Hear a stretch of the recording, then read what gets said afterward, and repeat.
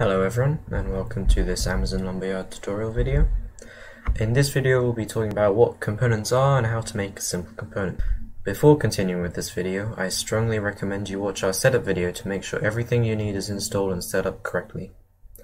Just before I explain what a component is, if you haven't already, open the project configurator, click create new, name your project something and choose the default and then click create project. If this is the first time you're making it, it will take about two hours. If it's not, it might be faster, and it might not be though. Uh, once you do that, you can click enable gems and enable any gems you want, or you can create a new gem. But what is a component? Well, Lumberyard uses a simplistic entity model called the Components Entity System for everything from game objects to entire systems. Entities are just an ID, and then within them contain components, these components can communicate between each other using a messaging system called the eBus, which we'll get into in a future video. Components usually act independently of each other, but if one requires the component to function fully, you can require its service, meaning it will be prompted to add the necessary component before the other component gets activated. Components are essentially different parts of your entity, e.g. its location, a particle effect, a mesh, a character controller, etc. Now let's talk about how you actually make a component. First, um, if you haven't already, um, we I think we may have done this in the setup video, but open up the user underscore settings options file in the WAF folder of the dev directory and set generate underscore vs projects automatically to true with a lowercase t. Then scroll down a bit and set use uber files to true with a capital T.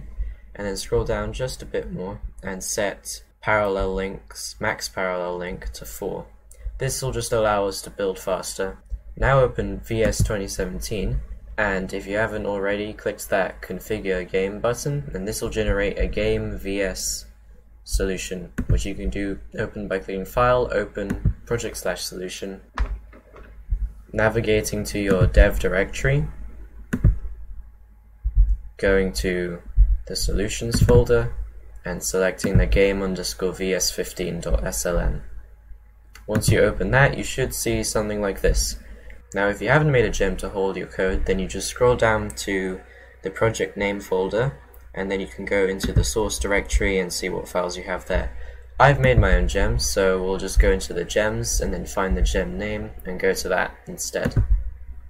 Now, to add a new C++ file, you'll have to go into the directory.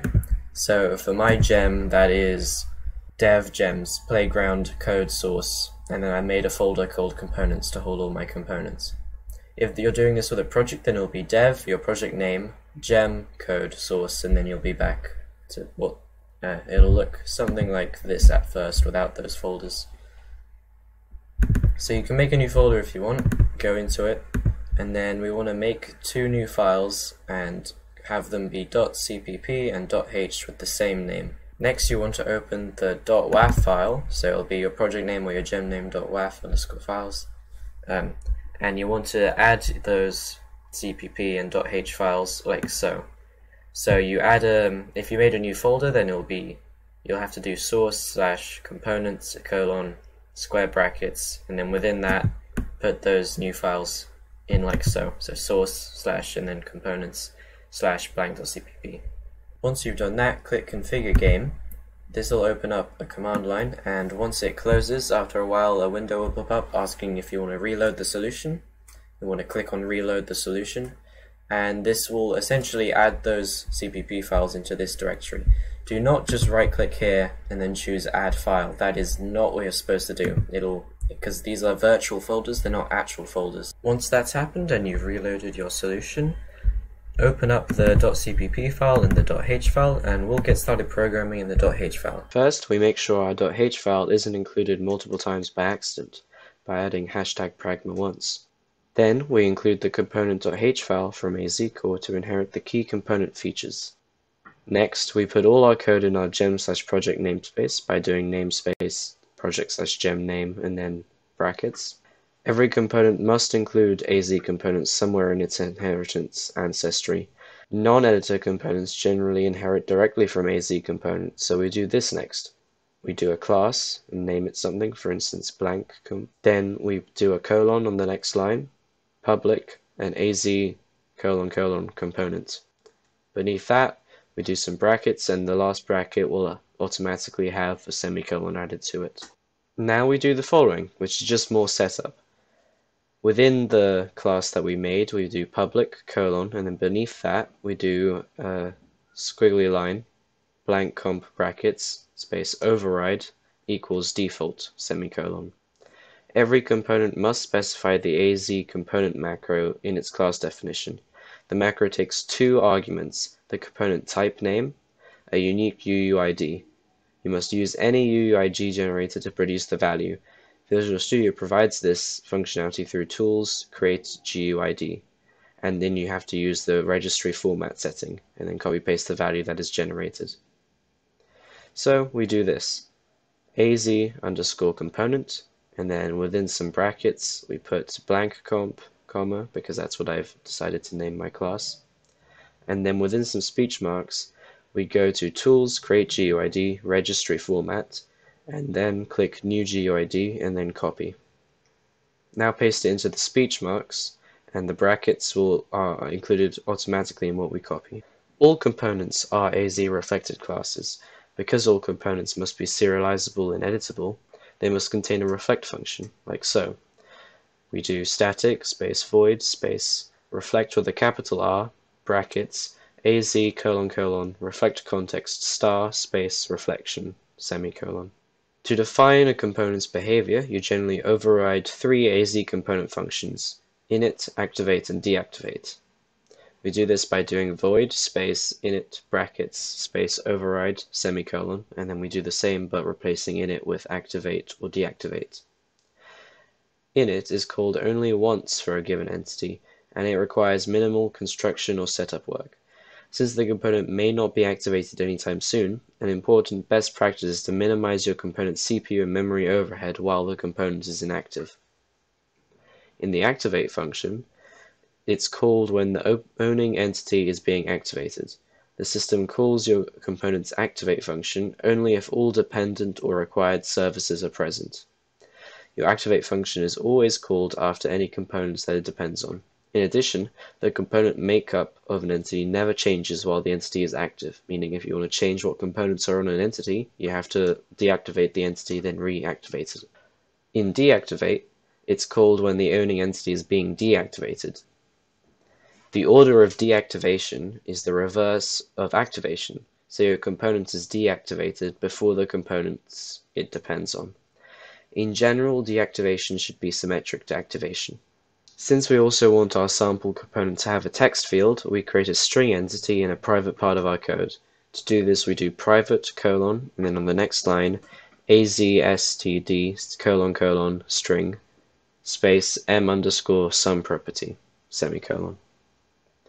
Overall, your .h file should look like the image on the screen. Now let's move on to the CPP file.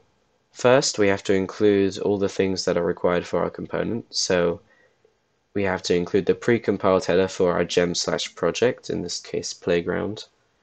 Then we have to include the .h file we just made. And then we have to include serialized context.h and edit context.h from AZCore. Next, we put all our code within a namespace called playground or whatever your gem slash project name is. And then within that we do void space, then our class name colon colon reflect and then in brackets az colon colon reflect context star space reflection close the bracket.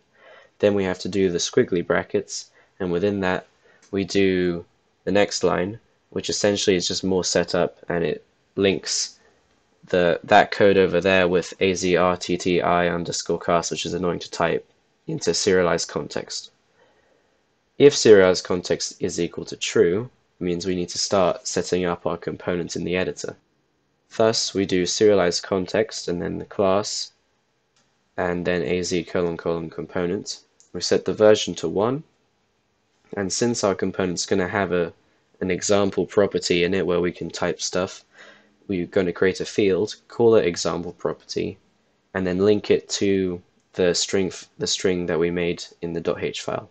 Next, we set up edit context to equal serialized context get edit context.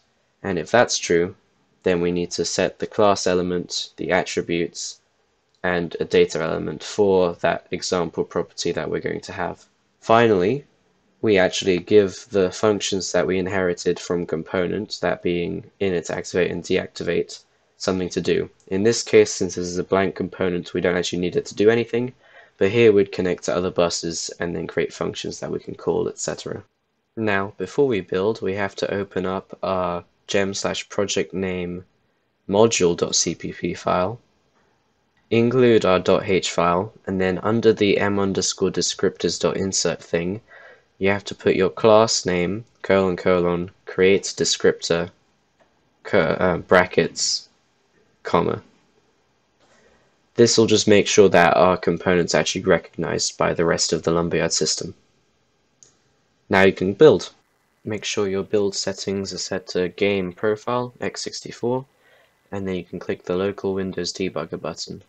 This will build your project solution. When it finishes building, you may get a pop-up saying that it couldn't run something because it wasn't a proper Win32 program.